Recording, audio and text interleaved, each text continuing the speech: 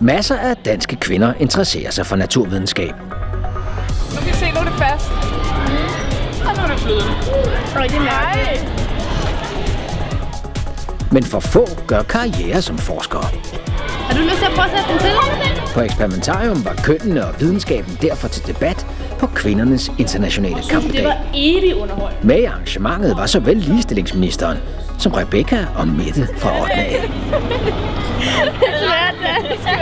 Den lille forskel hed Fordomsfestivalen, som fandt sted på kvindernes internationale kampdag. På festivalen kunne besøgende i Experimentariums Science Showroom møde kvinder på alle trin i forskningslivet. Fra folkeskolepiger til lektorer i fysik. Teksten på hver eneste trøje sikrede, at publikum kom i dialog om køn og naturvidenskab. Nej, jeg synes, det griner. Nej. Tryk på nogle af de knapper, kan I se. Jeg synes, at det er, det er meget interessant at, at robotter, for det er ikke så meget, man ser, og nu er det sådan, at vi har selv lavet det, og vi, vi ser ikke så, ikke så gamle ud, eller hvad man skal sige, så vi har lige pludselig selv fået dem til at køre rundt på den her måde. Og så er vi piger, der så vi og ja. robotter. Det er måske heller ikke så normalt. Sådan er Maja og Charlotte ikke ene om at tænke. Jeg vil sige, at i vores klasse der havde vi noget, hvor at, at vores lærer bedte alle om at øh, tegne en forsker. Og øh, der fandt man så ud af, der fandt ud af, at der var kun to, der tegnede forskeren som en dame. Og jeg vil sige, at jeg tegnede det også som en gammel mand med noget stridt over. På den baggrund skulle man tro, at publikum var overrasket over at se kvinder i alle aldre repræsentere teknik og naturvidenskab. Men sådan var det ikke. Vi har ikke fået nogen direkte spørgsmål om, hvorfor vi alle sammen er piger. Fordi piger kan sagtens finde ud af det her. Så. Det er også derfor, vi har et lille provokerende slogan.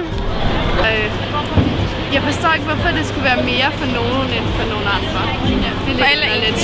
Ja, alle er jo alligevel ens. Så folk skal bare lave det, de har lyst til, og jeg synes det også, det er fedt at se nogle unge mennesker, uanset om de er mænd eller kvinder, interesserer sig for teknik.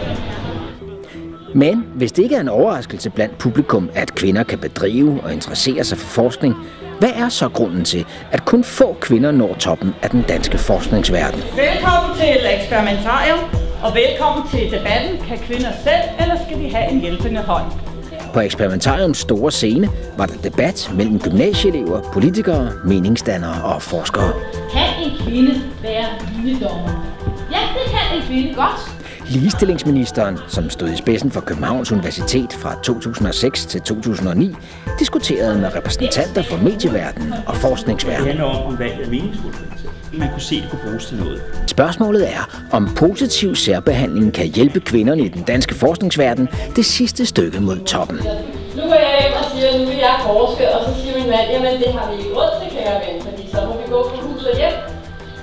Og selvom der ikke var enighed om svaret på det spørgsmål, så afdækkede debatten mange af de problemstillinger, kvinder står overfor på deres vej mod de mest magtfulde stillinger. Har vi forskellige forventninger til de to køn? Fordomsfestivalen Den Lille Forskel var en del af Twist-projektet, et EU-støttet projekt, der sætter fokus på kvinder i forskning